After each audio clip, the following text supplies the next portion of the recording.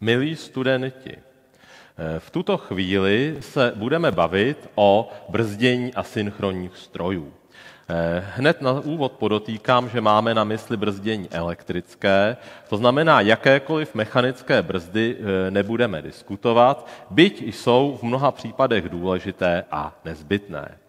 Eh, položme si nejdříve otázku, co to vlastně brzdění znamená. Co to znamená, že brzdíme nějaký točící se rotor a stroje. Abych ten rotor tedy mohl zpomalovat, což je asi naším cílem, tak určitě uhodnete, že se musí změnit směr točivého momentu toho stroje. To znamená brzdění jakéhokoliv stroje chápejme jako změnu směru jeho tažného momentu. Tak, určitě eh, si to představíme na mechanických charakteristikách. Takže zde máme osu omega, zde máme osu momentu. No a pokud stroj pracoval v motorickém chodu, tak eh, pracoval v našem případě s kladnými momenty. Zde byl motor. A pokud ten stroj eh, budeme brzdit, tak musíme přejít eh, z, té, z těchto kladných momentů, čili obecně z této oblasti, do oblasti záporných momentů. Ano, čili zde máme nul, zde máme momenty kladné, ty jsou eh, pro motor a v okamžiku, kdy brzdíme, tak ty momenty musí tedy obrátit svoje znaménko. Podle eh, způsobu realizace rozlišujeme tři základní druhy brzdění, tedy asynchronních strojů. Je to za A brzdění generátorické, za B brzdění stejnosměrným proudem a za C brzdění protiproudem. Já jsem tyto jednotlivé způsoby eh, trošku už seřadil podle jejich výhodnosti. Určitě tušíte, že generátorické brzdění bude nejvýhodnější a nejpoužívanější. Já jsem ho už víceméně začal diskutovat ve výkladu eh, měničů eh, v té závěrečné části. Ale v tuto chvíli se na něj podívejme trošku podrobněji. Za jakých okolností může motor přejít do režimu generátoru? Tak, eh, diskutujme tedy, diskutujme tedy tento způsob brzdění za A trošku podrobněji. Tak, představme si, že máme stroj, který se tedy otáčí nějakou úhlovou rychlostí omega a má přejít do režimu generátoru. Jelikož jde o stroj asynchronní, který nemá vlastní magnetické pole, to magnetické pole je tam dané až teprve sítí, tak první nutná podmínka je, že ten stroj musí být při tomto způsobu brzdění připojen k síti. Stroj připojen k síti. Tak, já e, sem napíšu červený otazník. A tento otazník eh, mi bude říkat, že se za chvilinku k tomuto mám vrátit a mám eh, toto tvrzení diskutovat. Ale zatím uvažujme, že magnetické pole toho stroje vzniká díky napájecí síti a stroj tedy je připojen na třífázovou síť.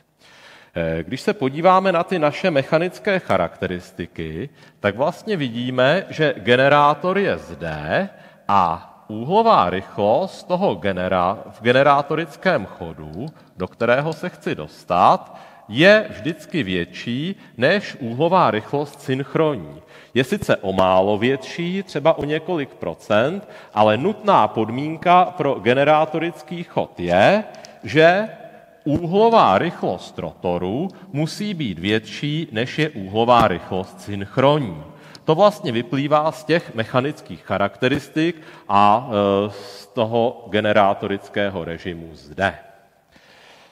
Tak, Synchronní úhlová rychlost eh, je ve většině případů daná sítí. Pokud tedy napájíme z pevné sítě, tak ke generátorickému brzdění dojde v případě, že tato zátěž bude aktivní a bude nám vlastně ten rotor roztáčet do nadsynchronních otáček. Čili mohlo by se zde jednat eh, například o eh, rotor třeba větrné elektrárny, která vlastně do toho generatorického chodu je převedena záměrně. Eh, eh, větrná elektrárna tedy eh, roztáčí rotor toho asynchronního stroje do nadsynchronních otáček a můžeme říct obráceně, že ten asynchronní stroj vlastně ten rotor mechanicky brzdí. Vítr má tendenci roztočit rotor a ten stroj má tendenci ten rotor brzdit. Tak a výsledkem je vlastně generátorický režim a dodávka výkonu do sítě. Druhou možností, kterou využíváme v trakci, je naopak eh, zmenšení eh, té synchronní úhlové rychlosti. Čili tento způsob, který jsme diskutovali, byl vlastně za A nebo za prvé, a to bylo zvýšení úhlové rychlosti oproti té synchronní a Druhý způsob by se týkal trakce, kde máme například tramvaj dobrzďující do stanice. V tu chvíli nemůžeme zvyšovat její úhlovou rychlost, ta je daná prostě eh, rychlostí toho vozidla, ale jelikož zde máme zařazený rekuperační měnič, tak může ten rekuperační měnič vlastně snížit eh, synchronní úhlovou rychlost eh, toho stroje, respektive snížit frekvenci, napájecí frekvenci tak, aby se vlastně při té dané úhlové rychlosti ten stroj převedl do generátorického režimu. Čili jestliže rychlost tramvaje je v daném okamžiku tato, tak já udělám tu věc, že snížím napájecí frekvenci, pochopitelně i s napětím, budu se řídit tou zákonitostí UQF rovno konstantě, tuto červenou charakteristiku Eh, posunu tedy tak, aby tento bod se nacházel eh, v té generátorické oblasti, takže eh, bude ta nová charakteristika posunutá vypadat třeba takto.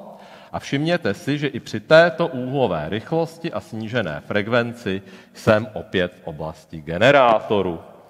To znamená, druhý způsob je snížení synchronní úhlové rychlosti a to se týká třeba trakce, respektive všech pohonů změniči. Ten první způsob se týká větrné elektrárny. Tak, já jsem si tady eh, napsal tento otazník. Tento otazník mi říká, že eh, bych zde měl eh, něco diskutovat. Eh, prosím vás, tvrzení, že stroj musí být připojen k síti pro generátorické brzdění, je trochu zavádějící. Ten stroj musí mít vytvořené magnetické pole. Ale uvědomme si jednu věc. Uvědomme si, že v generátorickém režimu eh, vlastně odpor R21 lomeno S, který máme v tom náhradním schématu, je záporný. A milí studenti, eh, záporné odpory vedou eh, k poměrně velkému problému, nebo můžou vést. Tím problémem je nestabilita. Eh, co tím máme na mysli? Vy už jste určitě poznali například RLC obvod. Určitě víte, že když teda vezmete kondenzátor, indukčnost. A sem dáte takhle odpor, který bude kladný, no a v tuhle chvíli byste ten nabitý kondenzátor připojili do obvodu, no tak v tom obvodu se vybudí nějaké kmity, eh, které budou tedy exponenciálně zmenšovat svoji amplitudu v čase díky tomu, že tento odpor je kladný a e, odebírá tedy tu energii, která e, se v úvozovkách přelévá mezi kapacitou indukčností. Jenomže tady je odpor záporný. A kdybyste počítali skutečně pozorně, což po vás v tuto chvíli nevyžaduji, tak byste přišli na to, že v případě, kdy tento v úvozovkách tlumicí odpor bude menší než nula, tak ty kmity nebudou takto ubývat, jako jste asi pozorovali v elektronice na osciloskopu, ale budou naopak v čase narůstat. To znamená, že jde o typický případ nestability nějakého zařízení a vlastně ten eh, obvod se začne chovat trošinku jako oscilátor. A my tohoto faktu můžeme využít i u asynchronního stroje A můžeme si představit, že máme asynchronní stroj v generátorickém režimu, který má tady uvnitř schovaný právě ten záporný odpor R21 lomeno S a indukčnost. A ve chvíli, kdy sem takto připojíme kapacitní zátěž, to znamená, jednalo by se o tři symetricky zapojené kapacity, tak může dojít k takzvanému samonabuzení stroje, které se velmi podobá rozkmitání oscilátoru v elektronice. Uvědomte si, že indukčnost je schovaná v tom asynchronním stroji, v tom náhradním schématu, záporný odpor také a kondenzátor v tuto chvíli připojujeme na svorky. Takže eh, zde se můžou vybudit kmity, pokud ten stroj budeme pohánět dostatečně velkou úhlovou rychlostí. Já tento případ tady nebudu už dále diskutovat, ale pouze bych upozornil na to, že eh, teda nejde o nějaký příliš technicky používaný zdroj energie, ale diskutuju ho tady především z hlediska bezpečnosti.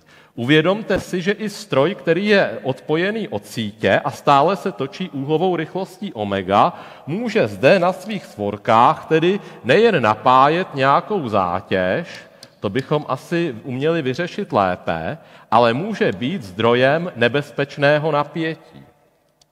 Takže existuje samonabuzení a synchronního stroje, které připomíná rozkmitání oscilátoru a jde o tedy nepříliš používaný způsob, ale eh, je potřeba tedy eh, ho znát z hlediska bezpečnosti. Další způsob brzdění, který zde máme, bylo brzdění stejnosměrným proudem. Brzdění stejnosměrným proudem vychází z poměrně jednoduché myšlenky, a sice eh, z pohybu rotorové cívky ve stacionárním magnetickém poli. Uvědomte si, že rotorová cívka vlastně představuje de facto zkratované vynutí a bude-li se toto vynutí eh, otáčet, čili bude-li se osa této cívky otáčet, takto ve stacionárním magnetickém poli, zde máme stojící magnetický tok Φ, no tak se do této cívky podle Faradayova zákona indukuje napětí, teče proud a vznikají zde tedy Joulovy ztráty, které hradíme vlastně dodávkou toho mechanického výkonu. Eh, na mechanických charakteristikách si tento způsob opět můžu představit velmi jednoduše. Eh, zde máme, u, pardon, zde máme úhlovou rychlost, jsem chtěl napsat. Zde máme moment a stejnosměrný proud je speciální případ proudu s nulovou frekvencí, že jo?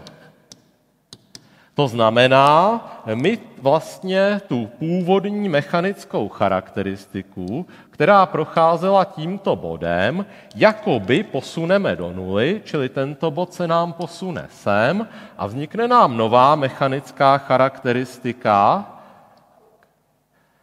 která odpovídá brzdění stejnosměrným proudem. To znamená eh, vlastně prochází nám eh, druhým a čtvrtým kvadrantem, neprochází nám prvním a třetím, čili není, schop, eh, není samozřejmě ten stroj při stejnosměrném napájení schopen dodávky výkonu, je schopen pouze brzdění a všimněte si, že při dané úhlové rychlosti máme tento brzdný moment M. Skutečně jsme v oblasti záporných momentů, eh, jde o moment, který, který ten pohon brzdí. Asi se zeptáte, jakým způsobem docílíme toho stacionárního magnetického pole, tak je tady několik způsobů. Eh, nejobvyklejší je asi ten, kdy máme motor spojený do hvězdy, sem budeme dodávat stejnosměrný proud a tato vynutí takto propojíme. Takže toto je jeden možný způsob vlastně vytvoření stejnosměrného toku ve stroji. Uvědomte si, že tímto způsobem opět můžou brzdit i frekvenční měniče, eh, protože střídáč, eh, tak jak jsme ho poznali, je vlastně schopen přejít jakoby i do režimu pulzního měniče a dodávat stejnosměrný proud takto do vynutí. Eh, to tento způsob brzdění má velikou nevýhodu a sice, že veškerá odbrzděná energie se v tom rotoru zmaří na teplo. V mnoha případech nejde ani tak o ztrátu energie jako takovou, ale o fakt, že nepřípustně ohříváme rotor. Takže tento způsob je použitelný pouze pro malé výkony a pohony s malými momenty setrvačnosti. Eh, samozřejmě i zde můžete ten brzdný moment regulovat a regulujete ho velikostí tohoto proudu. To znamená, tento proud I vlastně eh, by jakoby měnil eh, strmost té charakteristiky v oblasti brzdění. Při velkém proudu ta charakteristika vypadá takto,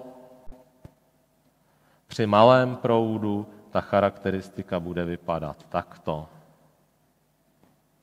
Takže i velký, i malý. Tak, a je před námi poslední způsob, o kterém se zmíním jenom, jenom okrajově, a jde o způsob eh, tedy brzdění protiproudem. Tento způsob je velmi málo používaný a v podstatě znamená reverzaci asynchronního stroje za chodu. Eh, takže zde máme pohon, který svým momentem setrvačnosti stále otáčí rotorem a já za chodu tento stroj reverzuji a určitě víte, že reverzace se provádí záměnou libovolných dvou fází. Tak, eh, po té reverzaci se vlastně změní mechanická charakteristika toho stroje. Původně vypadala takto, čili omega m, a při té reverzaci eh, se změní synchronní úhlová rychlost omega s na minus omega s, čili pole se točí obráceným směrem a nová mechanická charakteristika vypadá takto, je pouze přetočená. No a všimněte si, že vlastně při této úhlové rychlosti, zde jste byli v oblasti motoru, tak po té reverzaci přecházíte a nenechte se, milí studenti, zmílit. Není to oblast, brzdy, není to oblast generátoru, jak byste si typli, určitě. Oblast generátoru e, to není, ale je to oblast brzdy. To znamená, pro tuto červenou charakteristiku tento bod e, je v režimu brzdy. Zde máme brzdu, zde bychom měli motor a zde bychom měli generátor. Eh, malý problém je, že jakmile brzdíme, brzdíme, snižujeme úhlovou rychlost, tak v jednom okamžiku se dostaneme sem a to jsme vlastně v režimu nakrátko. Kdybychom ten stroj neodpojili, no tak by se nám začal roztáčet obráceně a přešli bychom vlastně do motorického režimu na té červené charakteristice. Takže tento způsob brzdění vyžaduje vlastně odpojení pohonu po e, dosažení nulových otáček a e, samozřejmě musíme dále držet e, mechanicky, tedy Eh, mechanicky v klidu. Eh, tento způsob je velmi nevýhodný, protože v tom asynchronním stroji se eh, vlastně maří energie jednak dodaná z toho pohonu a potom dodaná ze sítě. Čili jde o značné přehřívání toho rotoru a pokud se toto kdy používalo, tak pouze u motorů kroužkových, kde jsme mohli zařazením externího rotorového odporníku ten výkon tedy alespoň vyvést do nějakých externích odporů. Dnes skutečně skutečně říkám, jde o velmi málo používaný způsob, je to skutečně teoretický způsob. Milí studenti, uvědomte si, že všechny tyto způsoby, které jsme vyjmenovali, neumí udržet ten asynchronní stroj v klidu. To znamená, my můžeme všemi způsoby dobrzdit do e, téměř nulových otáček, ale v klidu při nulových otáčkách vlastně nemáme žádné brzdné momenty. Pokud potřebujeme držet pohon v klidu, což se týká třeba trakčních pohonů, tramvaj nám nesmí ujíždět, eh, když bude stát na eh, tedy nějakém svahu, tak vždycky eh, toto elektrické brzdění musí být vždycky doplněno mechanickou brzdou. To znamená, elektrické brzdění slouží pouze pro dobrzdění pohonu do nějakých minimálních otáček a držení v klidu se provádí vždycky mechanickou brzdou. Tak, eh, děkuji vám za pozornost.